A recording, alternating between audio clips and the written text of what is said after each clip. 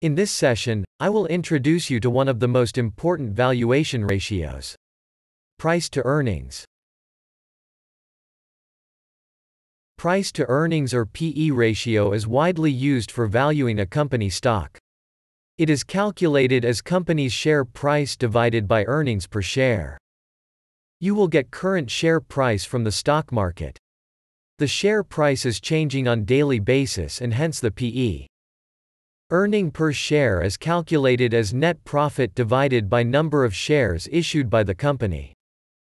PE can go up or down due to corresponding changes in the stock price or EPS. PE will increase if stock price continues to go up without much increase in EPS. Another way PE can increase if stock price stays flat and EPS is continuously going down over the years. On the other side, PE will decrease if stock price continues to go down without much changes in EPS. Another way PE can decrease if stock price stays flat and EPS is continuously going up over the years. As of now, you should remember two key observations but not necessarily those are true in all situations. High PE ratio could mean that a company's stock is overvalued. Low PE ratio could mean that a company's stock is undervalued. Companies that have no earnings or losing money do not have a PE ratio. PE ratio can be used to compare the performance of two companies. Let's understand with example. Suppose there are two companies. For simplicity let's assume both the companies make similar product and have similar business model.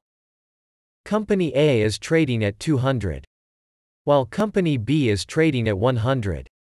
The new investor might assume that Company B might be the best because it is cheaper. But this is not necessarily true. A low share price does not mean stock is undervalued. In order to understand which stock is cheaper, you must look at both the company's earning capabilities with respect to stock price. Let's get into the details and make few more assumptions.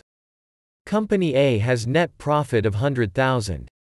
If there are 5,000 shares issued, you can calculate EPS as net profit divided by total shares. You will get earnings per share of 20. Let's assume company B has net profit of 50,000. If there are 10,000 shares issued, you will get earnings per share of 5. Now, it's time to calculate PE ratio for both the companies which is stock price divided by earnings per share.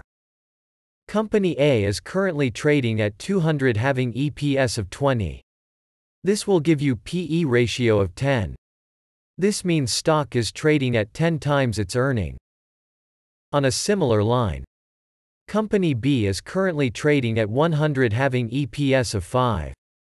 This will give you PE ratio of 20.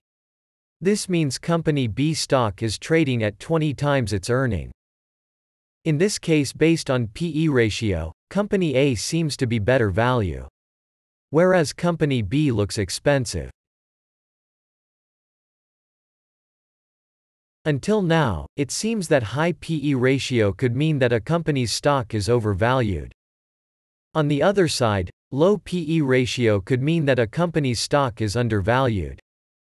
Please remember, this is not always the case. There are various factors that influence price to earnings ratio.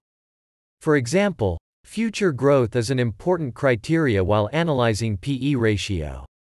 Companies might demand higher PE if company is expected to grow in future. On the other side, Companies that cannot grow its earnings or declining might have low PE and still an expensive investment. PE ratio can be misleading due to dependency on daily price fluctuations and surprise in earning due to temporary event. The unusually high earnings which is not sustainable can make PE look very cheap, but stock may not be undervalued. Low or negative earnings due to temporary economic issues can make PE looks very overvalued. However, stock might be buy due to future earnings to get normalized and grow further. PE ratio is one of the important ratios while valuing a stock. This will be covered in more details during valuation of stock. Thank you.